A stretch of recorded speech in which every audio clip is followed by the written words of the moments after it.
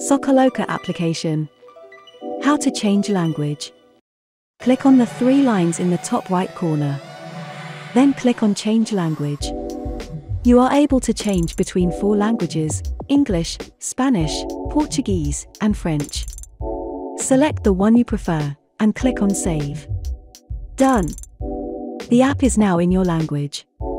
You can change language of the application whenever you want. Thanks for watching.